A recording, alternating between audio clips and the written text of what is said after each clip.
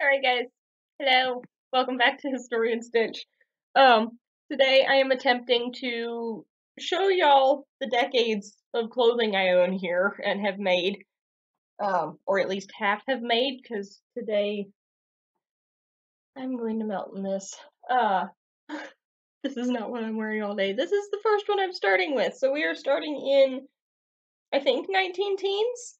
This feels like a cycling jacket. It has super poofy sleeves when it's actually been washed, and the high collar, and like it actually sinks in and then flares out again. And I love the sweater. And I got it for Christmas a few years ago, and my grandmother thought I was nuts because she's the one who got it for me, and I'm sitting there freaking out, going, "It looks like a cycling sweater." And everybody in my family looked at me and went, "It looks like a what?"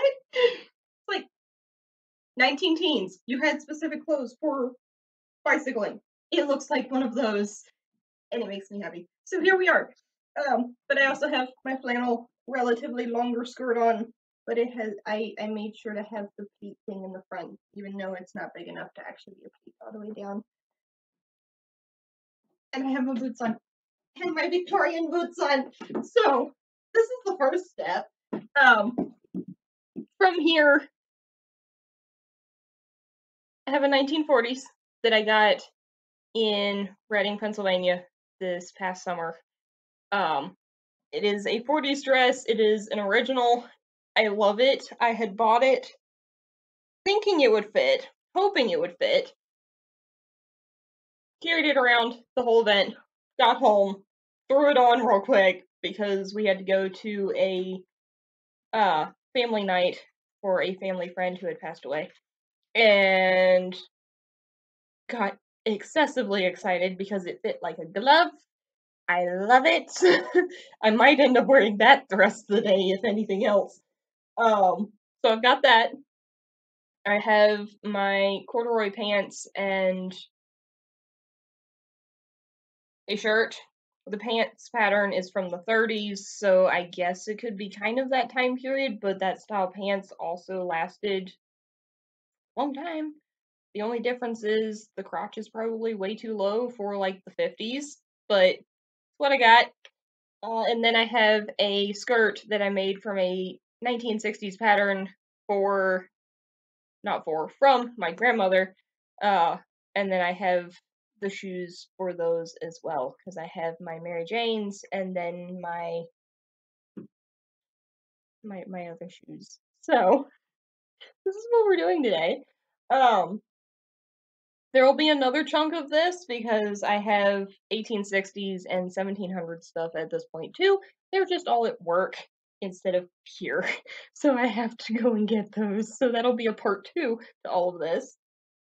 Um, I also have a 1830s dress. It does not fit me, but I will show you guys in that part two video. I got it from my grandma Tammy. Um, I think it's 19 or 19 1830s. It is definitely a hand printed fabric. Like the design on it is hand blocked, block printed. There's the words. Uh, but the style of it makes me think 1930 or 19. I am stuck in the 1900s today. 1830s. Um, so yeah, that's kind of what we're doing today, and we'll see where this goes because this might be interesting. Um, yeah, let's get started because now we've already done one. Let's see where the rest of them go. Other part of this, my hair is a hot mess. I am sorry. I thought I would try and curl it last night with foam curls, which I had sworn off. I realized I swore them off. The ones in the front mostly worked. Like, this half did beautifully, but it was mostly dry when I put it up. This half was still pretty damp when I put it up, which a wet set should be. It did not appreciate it. It wasn't dry yet at 10 o'clock this morning. So here I am. Half my head is curled and looks decent, and the other half looks like a tornado hit it, and it's still flat as a pancake. This is where we're at, and this we'll we'll see how the rest of this goes. this would be that 40s one. So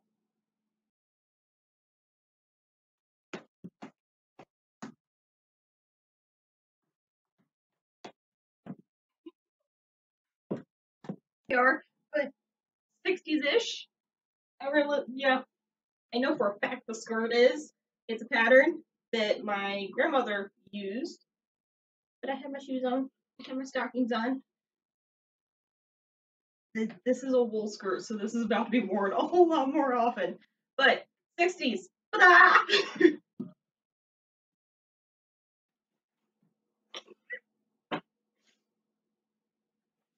Same shoes. But here we are. 50s? Maybe?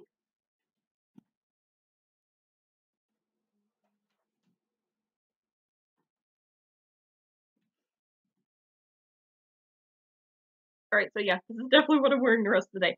But, um, basically, this is it. This is the first chunk. Part two is going to be, um, 1860s, 1850s. I will show you all the 1830s dress I have, um, and then late 1700s. I don't have the stays finished yet, because I eyelets eyelets. That's that's it. Um, but eyelets are not happening. Uh, I also have so many. I, I have a project at work that I am trying to finish that has so many buttonholes. Um, trying to get it done in the next weekish so that I can start working on the eyelets again. But yeah, that's where we're at right now, and that's where I'm going to be for a long, long time here until I get a wild hair to make something completely different. Uh, like proper 19 teen stuff, which probably would happen anyway if I can find some decent wool. Probably going to happen, but I also have so many other projects I have to get done first. Could also, thought process here, I might do a uh, fancy dress kind of version of this because I have a 40s inspired dress, like party dress almost. Uh, honestly, have no clue if it even fits anymore because I made that.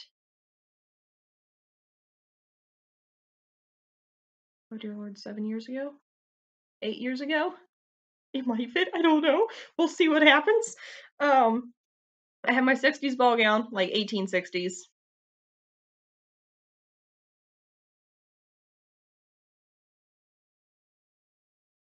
That might be it. So there's going there there could be a two chunk part of that of just looking at them and maybe talking about them a little bit. But yeah, that's where we're at. So uh, like, follow, subscribe. Any more suggestions? Put them down below. And I'll see y'all next time. Bye.